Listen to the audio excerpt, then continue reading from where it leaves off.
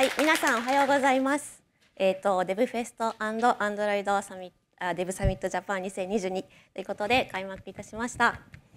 オープニングの挨拶を務めさせていただく佐藤翔子です。GGG 東京とウーマンテックメーカー東京のオーガナイザーを務めております。このオープニングトークでは、えーと、開催に先立ちましていくつかの注意事項だったり、えーまあ、主催団体についてのご紹介をさせていただく予定です。まず、えー、この DevFest についてです。えー、 DevFest は Google デベロッパーグループのコミュニティによって、えー、世界各地で開催されるデベロッパー向けのイベントになっております。東京では Android、 Kotlin、フラッター、Firebase、アシスタントなどですね、さまざ、まな技術のカテゴリーを、えーまあ、トピックにした最新情報だったり現場で使えるノウハウを1日で学べる、えー、そういったコミュニティイベントとして開催をしています。去年に引き続き今年は7回目の開催となっております。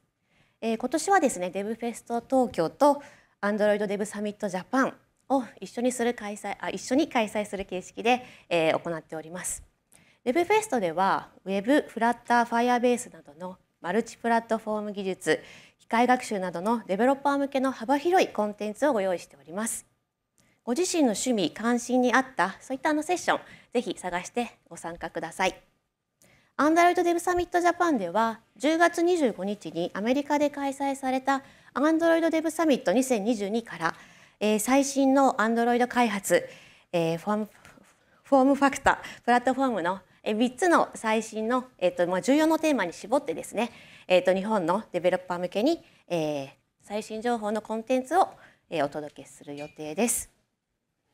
はい、では本日のタイムテーブルです。えっとオンラインで視聴されている皆様も会場にいらっしゃる皆様もえっとそれぞれご覧になっていただけると思うんですけども、このオープニングの後ですね、え基調講演を予定しております。え部屋はルーム1からルーム3それぞれ3つに分かれてですね、えっと各技術カテゴリーのえセッションを予定しております。こちらの部屋のえルーム1はえ英語通訳者の英語話者の方の日本語通訳も予定しておりますのでぜひご覧ください。で、えっと、ライブ視聴の皆さんですねあと,、えっとまあ、ツイッターと、えー、コンパスのイベントページなどにですね視聴 URL 掲載しておりますのでぜひそちらの方から各部屋の視聴 URL, え視聴 URL はご覧ください。本日の終了は16時25分頃を予定しております。あの1日という長丁場になりますのでぜひまあ会場だったり自宅でご覧になっている皆様はあのゆっくりと見ていただけると嬉しいです。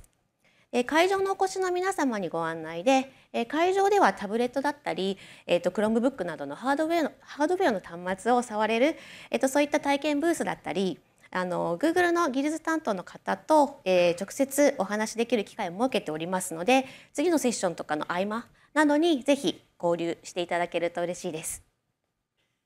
はい。そして、えー、行動規範に関してのご案内です。えー、GGG 東京では、えーと、技術の情報だったりとかそういうあの共有コミュニケーションを目的としているので、えーと、このような形で行動規範を、えー、設けております。参加者にとって、えー、安全で、えー、歓迎される場所を作ることに努めておりますのであの特にその技術に関わらないことへの、まあ、言及だったり外見など、えー、そういった発信あの発信をすること発言をすることは、控えるようにしてください。え万が一間違えてあの発言してしまったという時はちゃんと謝ったりするということが大事だと思うのでお互いに思いやりを持って接するように、え努めていただければと思います。えもし万が一不快な発言だったり行動を目撃した時は、えっと、オンラインだったら JGG 東京の、えツイッターの DM だったり、えっと、会場の場合は会場のスタッフまで、えお声がけいただけると嬉しいです。それでは簡単に、え今回主催の GGG 東京えー、そしてあのウーマンテックメーカー東京について、えー、紹介をさせていただきたいと思います。まず GGG というものなんですけども、えー、Google デベロッパーグループの頭文字を取った略称になっております。えー、Google の開発グループに参加することで、えー、Google の、えー、テクノロジーに関心を持つ、えー、そういった地域の開発者と出会う機会を得ることが、えー、できます。えー、GGG のそういったミートアップだったりとかあのイベントでは幅広い技術のトピックを、えー、取り扱っていてあのハンズオンだったりワークショップを、えー、通じてですね新しいスキルを学ぶことができます。このコミュニティはまあ初心者の開発者の方からあの本当にプロフェッショナルの方まで、え、誰でもが参加できる誰誰もが技術に持って関心を持って興味を持って、えーと、会話ができるそういった場所のそういった環境を目指しているのでぜひ、え参加いただけると嬉しいです。で Google ではですねこのつながりだったり学び育成にフォーカスをして開発者コミュニティの育成に力を入れています。それぞれの地域であの他の開発や技術に興味のある方との出会いがあったり多様な、えっと、バックグラウンドを持つ方さまざまな企業業界の方などと方などどなたでも大歓迎しています。はい、でこれは2019年のあの GoogleIO の、えーと、前にある GDG サミットで、えー、撮影されたものなんですけどもこのように世界中の方と集まって、えーと、あの技術の交流ができるっていうようなそういった機会もあったりします。で日本にはですね開発者のグループ GGG ジャパンというものがありまして11個のチャプターと,、えーと、と G タグガールズがありますのでぜひあのお近くの、えーと、GDG グループだったり、えーと、そういったところに参加してみてあの交流してみて交流していただけるととても嬉しいです。はい、では GDG 東京についてご紹介します。えっと、先ほどお伝えした通り GDG 東京はあの Google、えー、デベロッパーグループの、まあ、東京、えっとの場所にあるものっていう形になっております。ここでもですね Google のテクノロジーを学ぶ学ぶで学ぶことができるコミュニティコミュニティとして今コンパスに大体9,000人ぐらいの方が参加していただいています。で勉強会やカンファレンスの主催運営などをしていてあの年間を通していろいろなイベントはやっているんですけども例えば、えーと、Google I/O 報告会だったりとか、まあ、今回のように Android Dev サミットのそういった報告会だったりとか、まあ、そういったものをですね技術 Google の技術を学べるそういった入り口として大きあの多くの方に参加いただいています。で日本は本当にあの他の国と比べて、えっと、大変技術コミュニティが多くて Android だったり Firebase だったり、まあ、あの GCP だったりそれぞれ単独で、えっと、コミュニティが存在しているんですけどもやはりその新しい方これからやってみたいけど何をして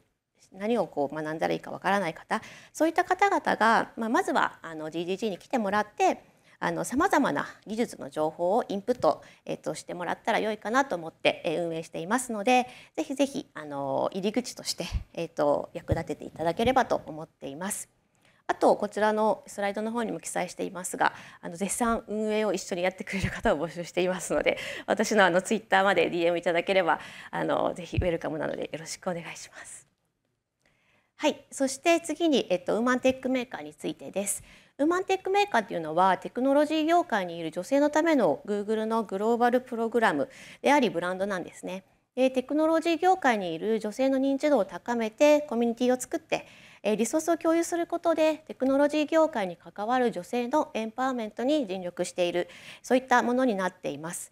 Women Techmakers は2014年に発足して世界規模で IT 業界に関わる女性の支援をエンパワーメントするプログラムをそういったものを、えー、もっと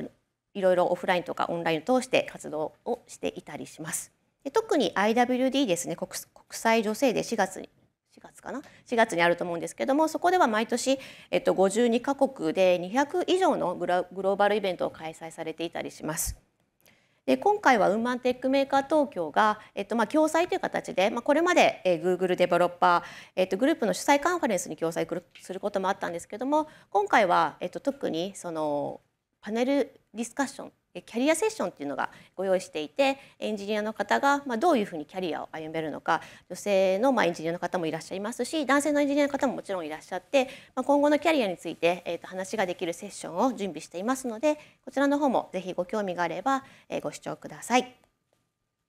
はい、ではツイッターのハッシュタグについてのご案内です。えっと、ハッシュタグは DevFest2022 と GGG 東京で、えー、つけてぜひつぶやいていただけると嬉しいです。あの発表者の方への応援メッセージだったりセッションのコメントだったりですね、えーと、GGG 東京の、えーと、ツイッターで、えー、まとめているのでぜひぜひあの、まあ、会場に来られてない方も視聴されていらっしゃる方も参加されてない方にもあのイベントの雰囲気が伝わるといいなと思っています。で、えっと、ちょっとオープニングなんですけども、えっと、今回アンケートをご用意していてぜひあのアンケートに、えー、ご協力お願いいただけると嬉しいというところでちょっとオープニングでご紹介させていただいております。はいということで、えっと、オープニングのトークは以上となります。それでは本日一日ですねデブフェストアンドロイドデブサミットジャパン2022をお楽しみください。はい、ではここから基調講演に入りたいと思います。えー、清水さん、英二さん、田辺さん、中井さんによる基調講演です。それでは最初に清水さんよろしくお願いします。